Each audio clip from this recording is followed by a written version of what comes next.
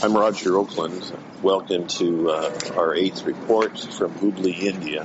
I'm sitting outdoors uh, so that you can hear some of the background noises.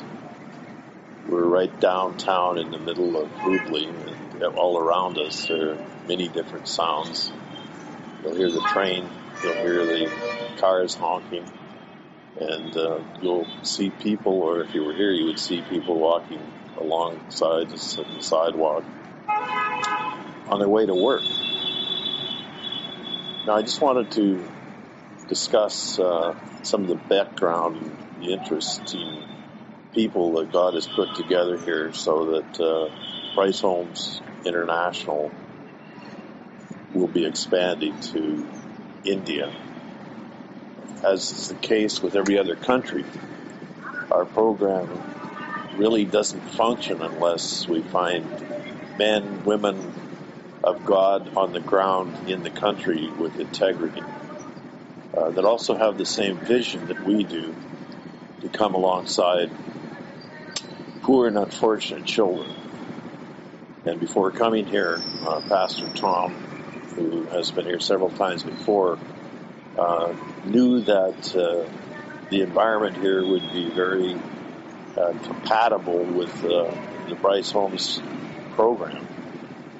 So I've been here now, made the observation. We found the people, uh, Pastor John, his colleagues here in the city of the first thing they did is show me a number of families, uh, some widows, uh, some complete families living in uh, places that uh, were essentially uh, not only shanties, uh, but these were condemned buildings that were being knocked over in, uh, the slum areas. So uh, we visited them, and uh, we didn't make any promises, but uh, we told them that um, we would pray and see what God would do in order to that we could help them. So after meeting together with the leaders, we made the decision to establish uh, five homes here in Hubli, five different homes. And another location with another pastor, Pastor Wilson, in a city that's about 300 miles from Hubli. When he shared with me the need in his area and the burden that he and his wife had to look after children, essentially children of single mothers who were prostitutes uh, these children wander the streets. Uh, the mothers, of course, can't look after them. Kids are in absolute hopeless situations. And Pastor Wilson uh, has a friend, uh, and the friend, of course, uh, it's a couple with uh, his wife. They have a vision to set up a, a home where they could bring some of these children in with cooperation, of course, from from the mothers who are the prostitutes, and that they would minister to the children, and then the children would minister to their mothers. So this would be a whole other avenue the Bryce Homes program could function. So we will uh, move ahead in that direction. So what I'm about to tell you is we're officially launching uh, Bryce Homes in India, which will be the eighth country.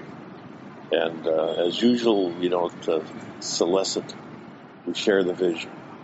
And uh, when I get back, uh, Ron Periotti will uh, be putting up uh, tabs on our website for Bryce Homes India, and uh, people as they're led can contribute.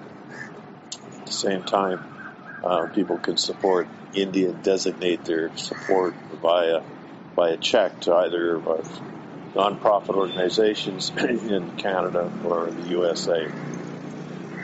So from my point of view, this has been a very successful trip. The conference in itself, I felt, was uh, productive because we gave tools uh, for people. Uh, their faith was strengthened and they could go out and share their faith with others. And we were able to do what we came here to accomplish, and that is uh, to observe the land.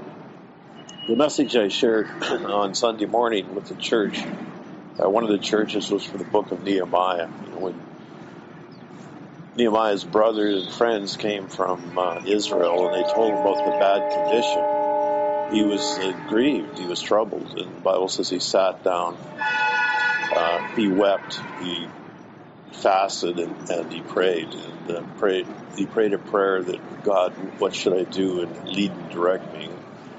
And uh, so uh, God gave him the vision and provided the provision. And uh, that's what our prayer is. Lord, we, we've seen the bad condition. And help us now uh, through prayer and through your provision to make a difference. Uh, we can't change India. We can't even change the city of Hubli. Uh, but we can change a few lives in the midst of this. So, Lord, uh, this is your ministry, not ours.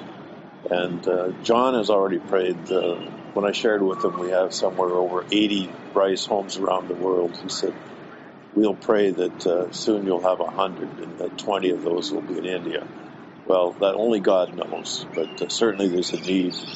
And uh, if that's what God wants, then we want to be the vessels which He uses to provide to change the lives of children. So thank you for uh, listening to our reports. This this may be the last last report. Tomorrow we we head on our first leg uh, to uh, drive a couple of hours to catch a plane to fly an hour to get to Bangalore and then are on our way back. it's going to be a long journey, and uh, I'm sure I'll have a lot of time to think and pray. And uh, thank you for those that are praying and continue to pray that uh, God opens these doors in India and uh, Bryce Homes will be established in a way that will obviously show God's blessing. Thank you.